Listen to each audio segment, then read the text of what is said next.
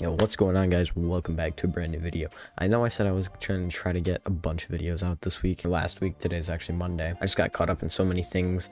Uh, I had a bunch of family events going on that I did not know that I had going on and some other events for my mom's company where she works. So there was, I had like three events last week and once I got home, I was just dead. But I'm back, I'm ready to go.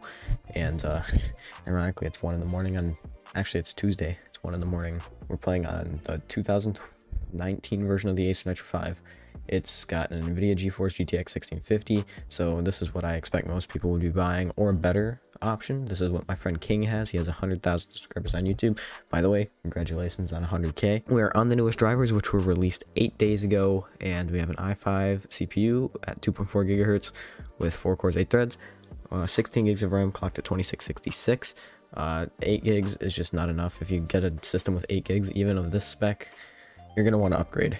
And uh, lastly, I'm using an external monitor at 165 hertz because uh, recording actually lowers my FPS, and, um, therefore the test wouldn't be accurate. But using the external monitor uh, through NVIDIA Optimus actually boosts our FPS slightly, and um, it gives me back about 80 to 90% of what I lose through recording, so it's a more accurate test for you guys. I am playing on the Ultimate Performance Power Mode, which it looks like I need to enable because right now we're sitting at around the 1.5 gigahertz mark, and in MSI Afterburner we are not overclocked at all. So in power options, I'm just going to go here. Yep, there it is, power saver. That'll kill you, that'll kill you, that'll cut your frames in half. Ultimate performance, and boom, we should instantly jump up to like 4. Yep, we're at 4 gigahertz now. That's what you want to see. Oh yeah, and now is the time that while we're waiting for Fortnite to finish updating, leave a like and subscribe to the channel. Right now. Looking at you, Timmy.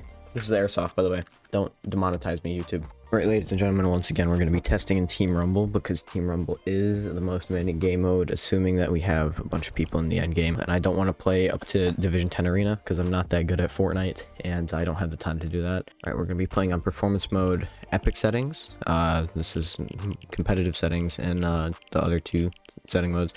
And uh, I don't really think we need to play on medium and high because that's just going to be in between the two. But we will do epic settings and we will do low settings because, yeah.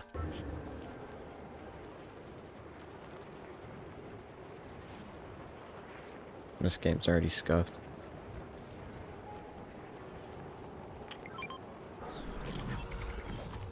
I'm dropping in, it's looking really well. This is probably what I would say would be representative of average gameplay. Just running around and uh, pubs. Uh, even in some small fights, like this is going to be perfectly fine. It's actually not that as bad as I thought it would be.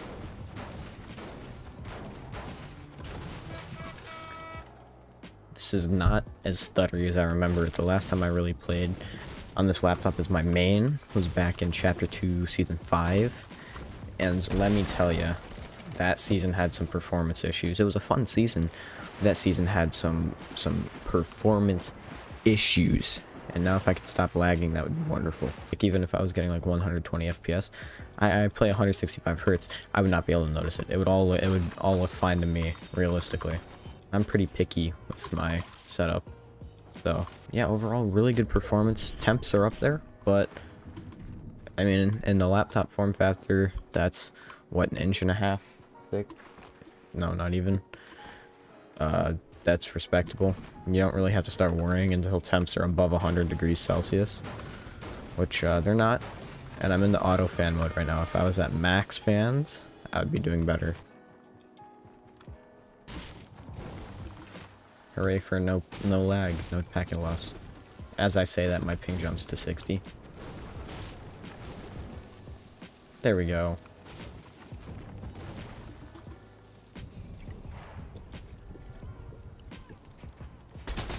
Can you just...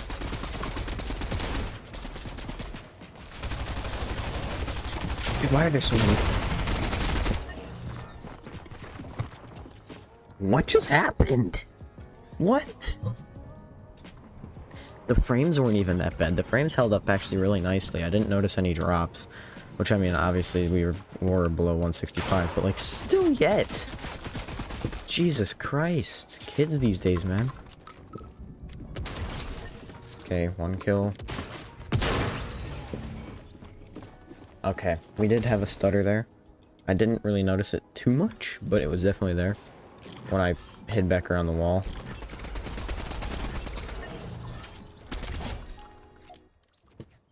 That's a kid. He's mad. Okay, this sucks.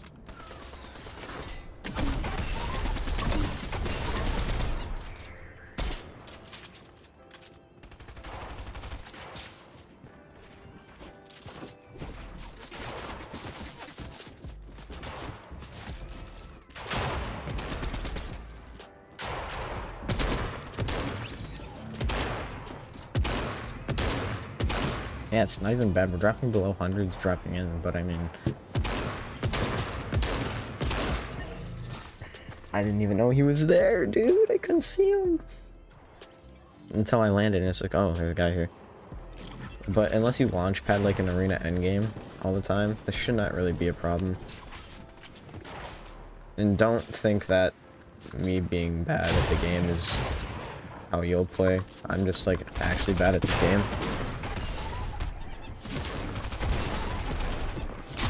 Especially when there's like a bajillion people here.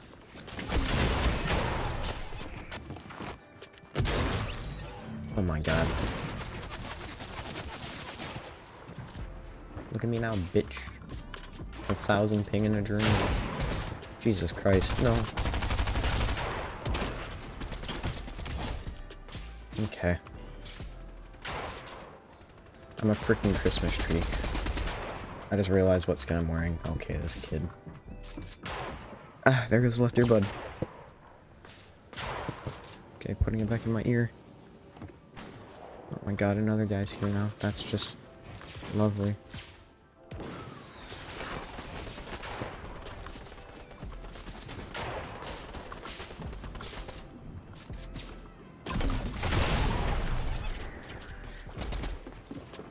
Alright, I'm gonna switch to low settings now.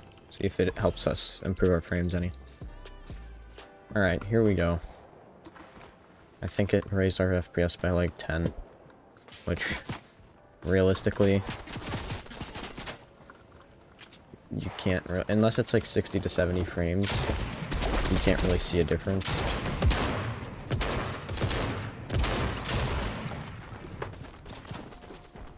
I feel like I'm just getting third-partied.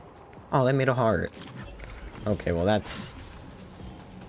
I respect it. That's a way to finish out a game, I guess. Now if I could... Once again, I die from a player who I was not fighting. Yeah, yeah, yeah, yeah, yeah, yeah, yeah, yeah, we get it, we get it, we get it. You're cracked at Fortnite. Jesus Christ. I think it's safe to say I was actually really impressed. I did not notice any stuttering, like at all. I noticed one stutter, I think, in the middle of the video, but I, I noticed that in the middle of the game, and I was like, yep, we just stuttered there. I think I could run this as my main, like overclock it, optimize it a little bit better, because this is a fresh Windows install that I didn't optimize yet. But overclock it, optimize it. We'd probably get 140 to 160, and I think I'd be able to run this as my main again. But um, obviously I have a $1,500 PC, so I'm not going to do that.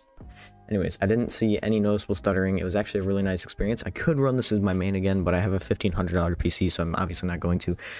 But honestly, if I had to run it as my main, like let's say my graphics card uh, just broke, like the, the stupid adapter that NVIDIA makes us use with the Founders Edition cards just broke, and I had to run this, uh, I would I would obviously be upset because my $500 hard to find graphics card's bricked, but um, really I would be able to probably get away using this just fine. And uh, yeah, so that, that's crazy to see how Fortnite has managed to optimize their game to the point where it doesn't actually suck like it did when I left the Nitro 5. I think that's pretty much it. I think that's all we covered. We played a longer time on high settings than we did on low settings. That was just my bad. I didn't notice stuff. I'm playing on high meshes. Uh, that's that, I guess. Low meshes will maybe boost your frames by 20 or so percent. I'm not entirely too sure because I don't really play low meshes, but um, I've heard it can boost your frames a decent amount, so try that out if you want. I'm not going to do that in this video, but um, yeah, thank you guys so much for tuning in. Without further ado, guys, that's going to be it for me for today, and uh, yeah, I'm out. Peace.